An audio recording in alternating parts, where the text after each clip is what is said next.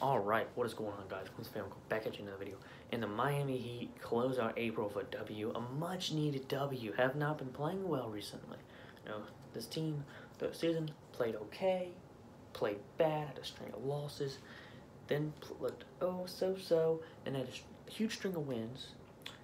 Then they had a string of losses. Then they had a string of wins. Then they had a string of losses.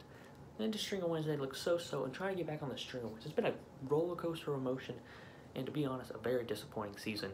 Uh, did not expect this team to be 33 and 30. You're Going to be in the seventh in the Eastern Conference. Just going to say that right now. I think I had us at third.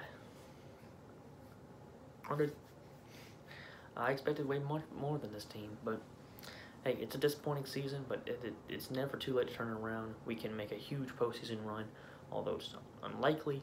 It can still happen. Anything's possible.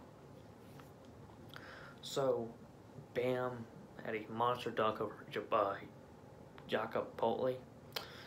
Um, I thought DeMar DeRozan played good. DeMar DeRozan is probably going to leave San Antonio next year. I think he wants to go back to the East. It's a Rossi spot, bro. Come on down the Heat. Might get Lowry, too.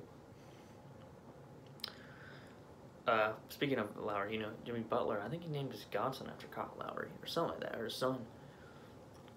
Um, and Kyle Lowry's godfather. I think that was an article somewhere. So he might come down too.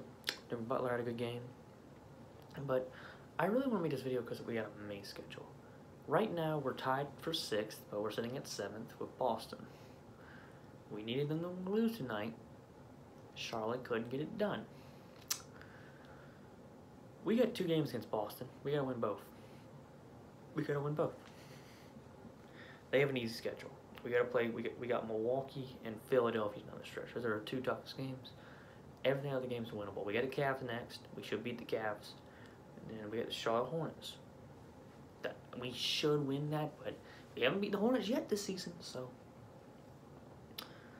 but those are two winnable games. You gotta hope that you know maybe Atlanta or New York falls.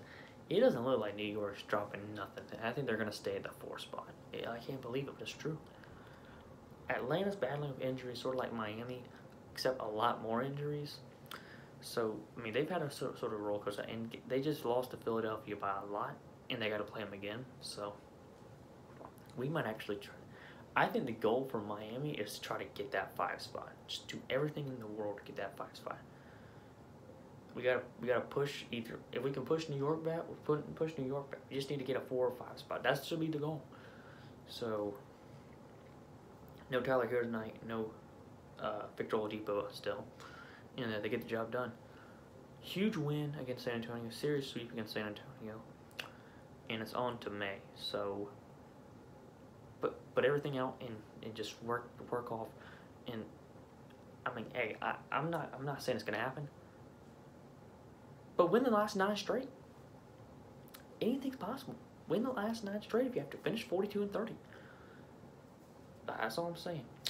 Cleveland next. If we lose to Cleveland, there is a huge problem with the Heat team in the month of May. Huge problem. All right, everyone. Peace out.